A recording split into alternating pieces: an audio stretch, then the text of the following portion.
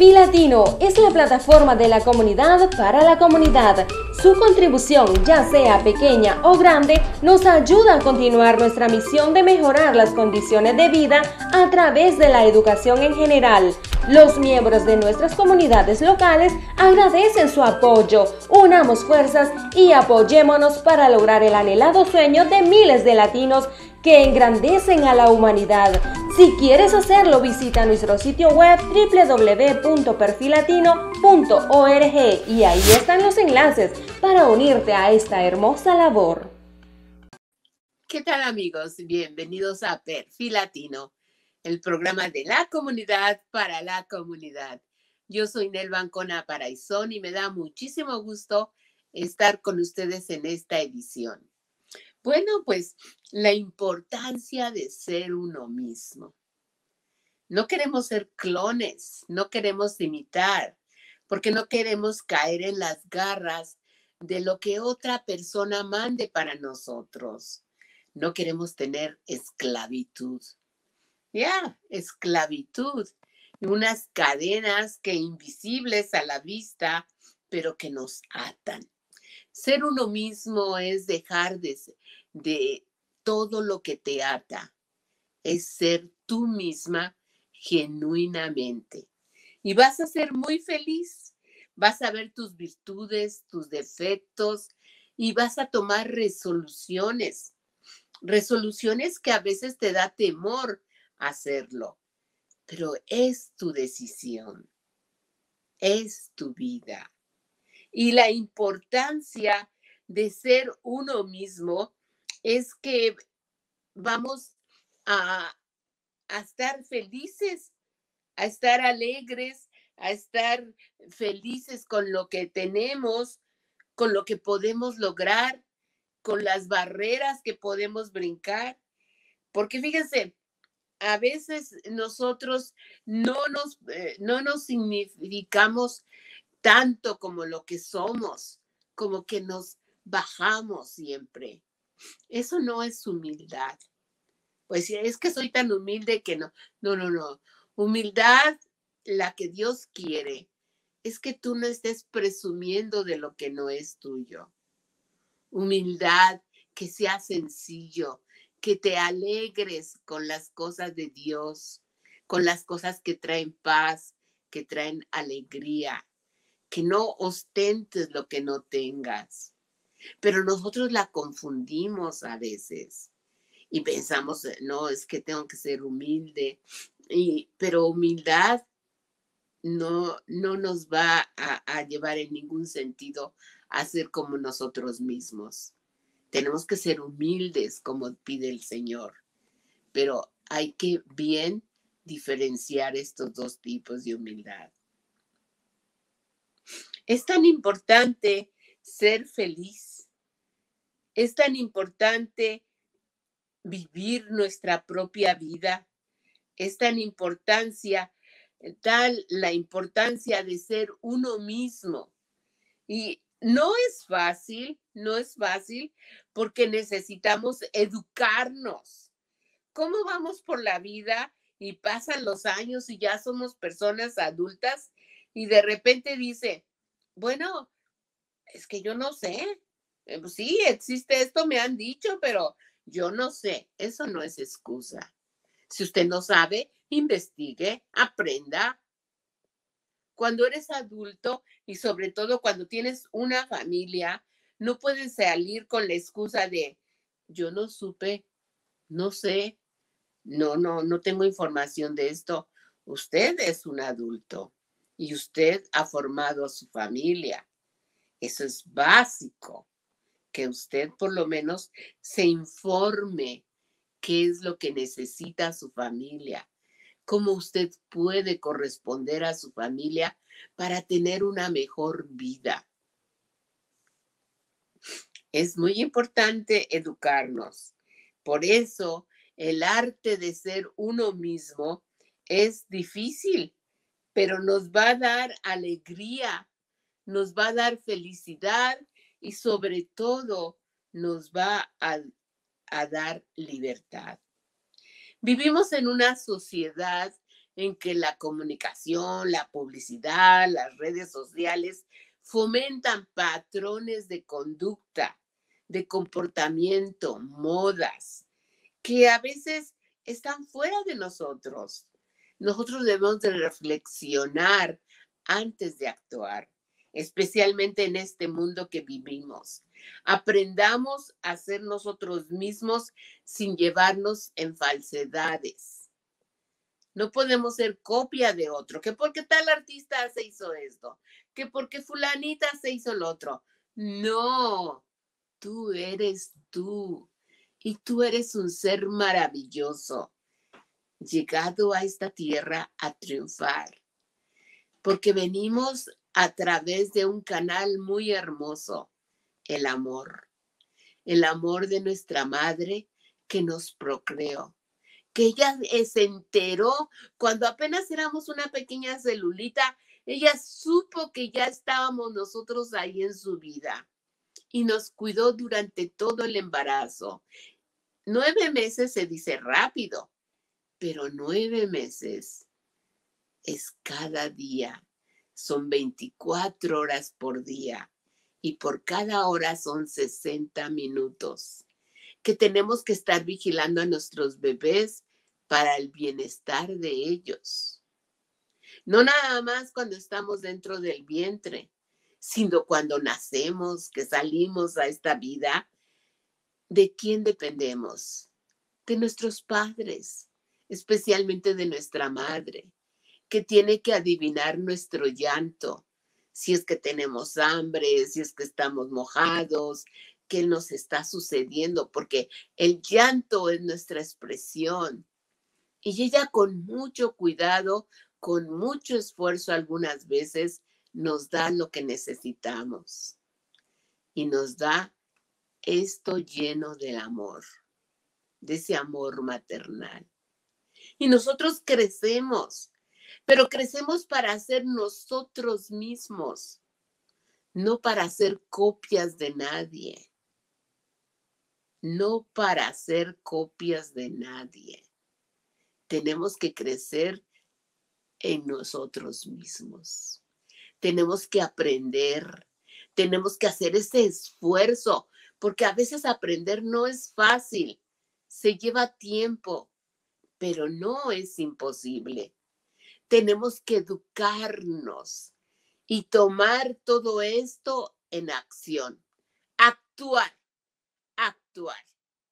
No nada más dejarnos ver porque en mi teléfono apareció una figurita, pues yo lo voy a copiar para hacer lo mismo. No, porque no sabemos si nos va a convenir o no.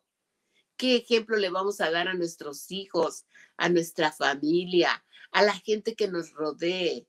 ¿Que somos copias? Que somos juguetes y que vamos a dejar ser manipulados por otra persona. Porque hay siempre personas que quieren tomar ventaja de nosotros, manipularnos. Y a veces, pues nosotros como que nos dejamos, ¿no? Quizás para, por no tener problema. Esa es una cosa que mucha gente lo hace. Para evitarse algún problema o algo, se deja llevar, como el río todo lo que encuentra el río en el camino se lo lleva. Y ahí vamos nosotros, flotando, flotando. Tampoco está bien eso, porque nosotros somos unos individuos y unos individuos perfectos, porque fuimos creados por la mano de Dios. Dios actuó sobre nosotros. Debemos de dar muchas gracias a Dios y también corresponder lo que Él nos dice, ser nosotros mismos, buscar la verdad. El otro día nos hablábamos y siempre hablamos de esto, de que en las sagradas escrituras está la verdad, está la vida. Y estábamos invitando a todos que aunque sea tres líneas, tres palabras de la Biblia, las sacáramos cada día dependiendo del tiempo que tú puedas invertir. Y que tan solo con tres palabras que tú sacaras de esa Biblia, vas a ver cómo tu vida cambia, cómo brilla más el sol, cómo puedes respirar un aire puro, profundo, porque está sanando tu corazón. Y es que hay que sanarlo de tantas cosas.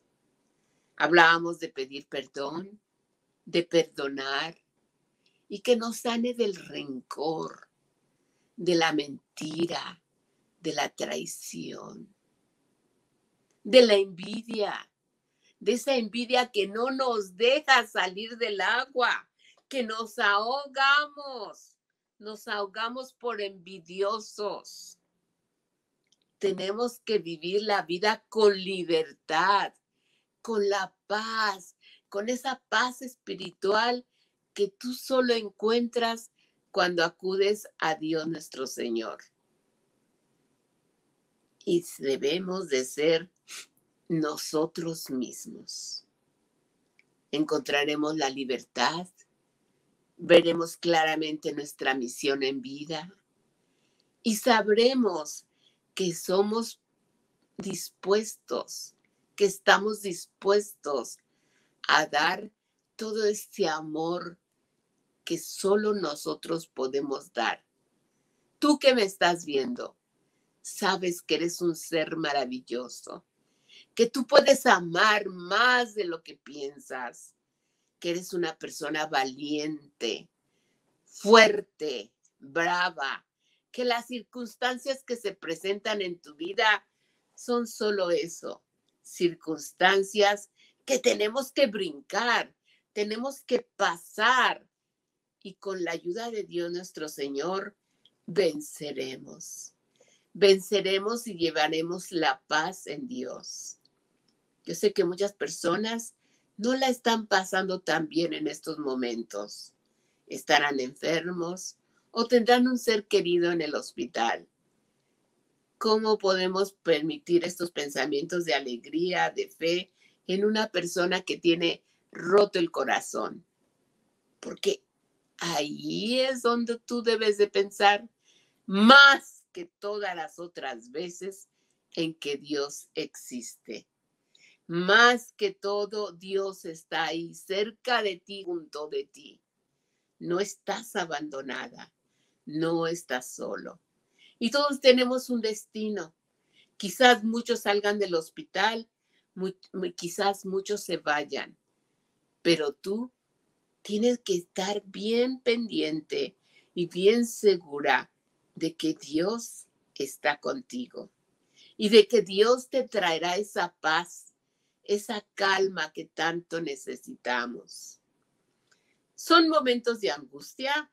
Yo misma podría ponerme a llorar ahorita porque nos sentimos tristes, nos sentimos con el corazón roto de tanto que nos sucede pero no debemos de cansarnos. Al contrario, cada mala situación que tengamos, hay que ofrecérsela a Dios nuestro Señor, porque Dios, aún en sus peores momentos, Él confió en su Padre.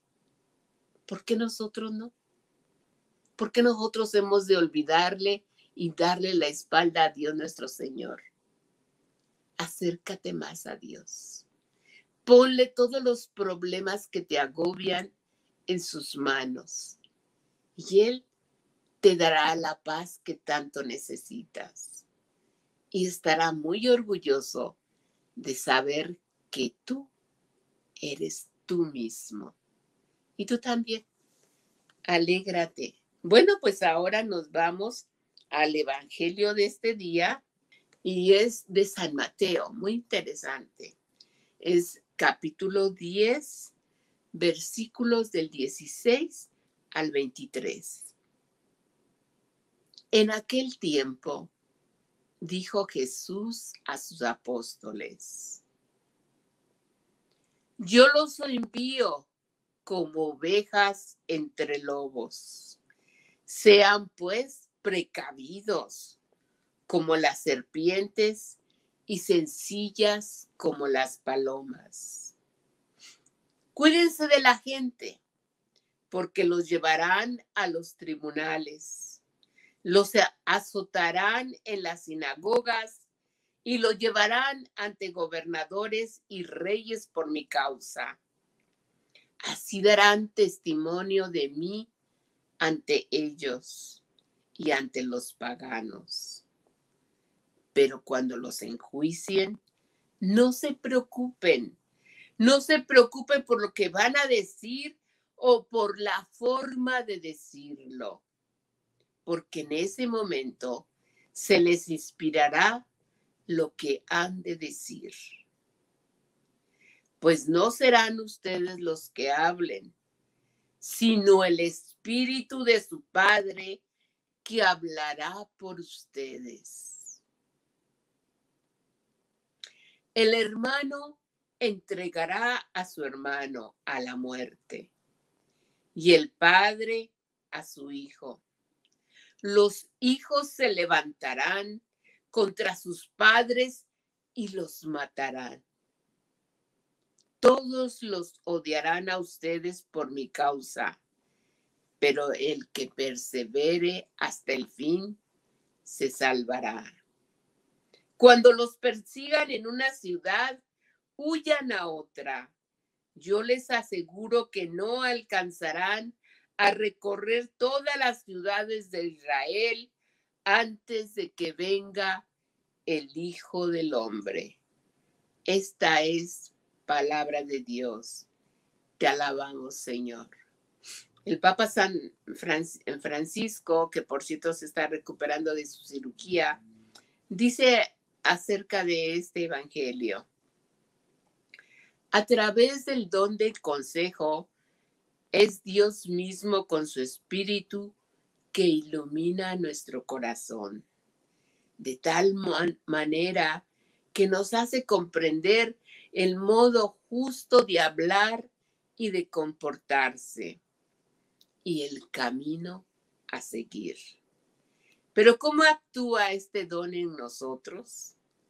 En el momento en que lo acogemos y lo albergamos en nuestro corazón, el Espíritu Santo comienza inmediatamente a hacernos sensibles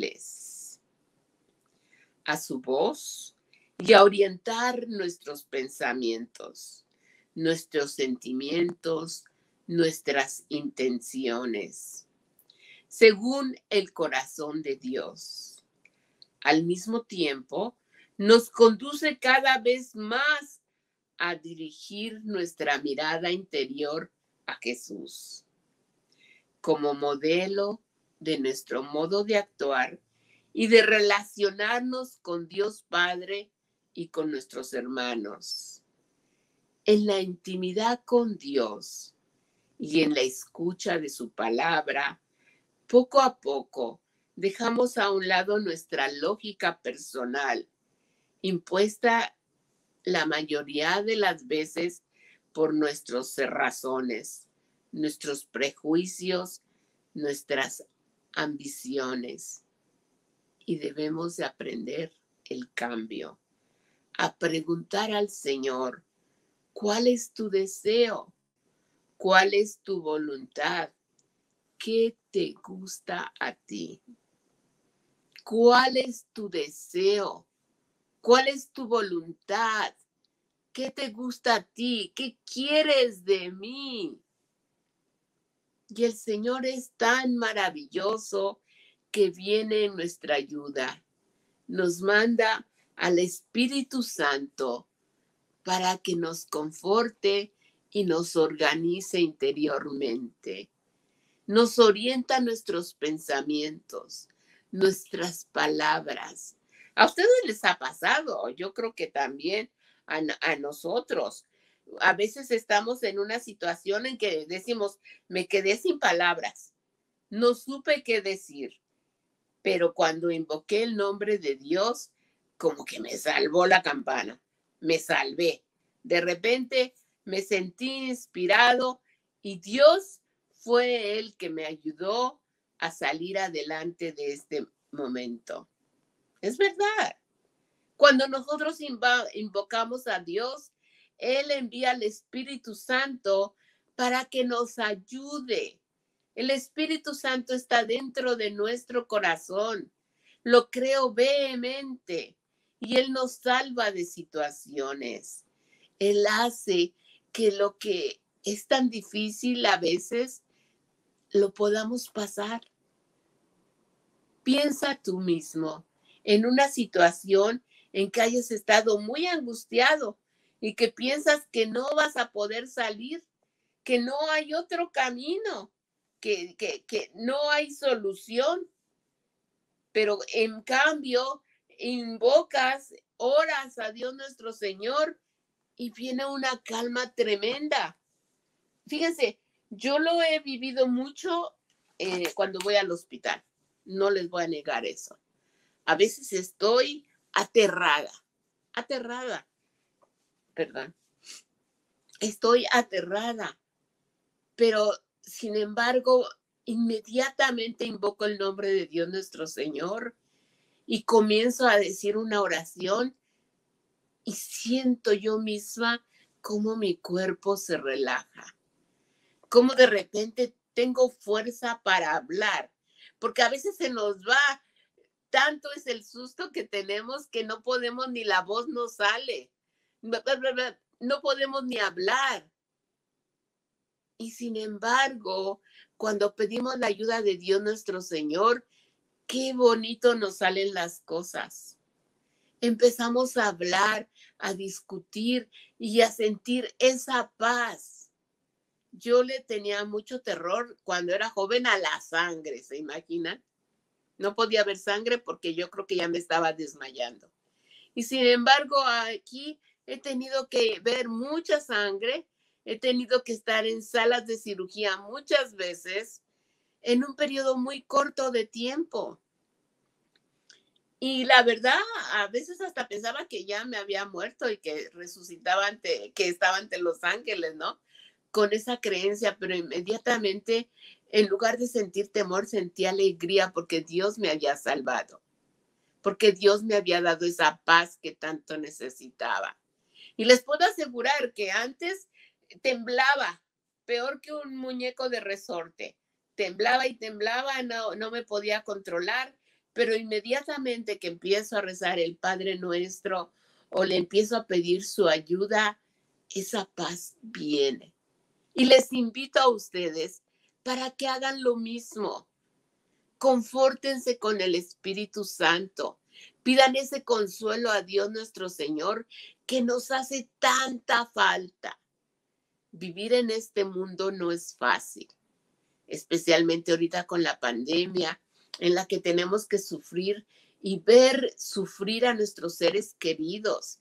Eso es lo que duele. A veces no es lo personal que nos suceda, sino ver a la gente que está sufriendo y no poder hacer nada. Eso es terrible.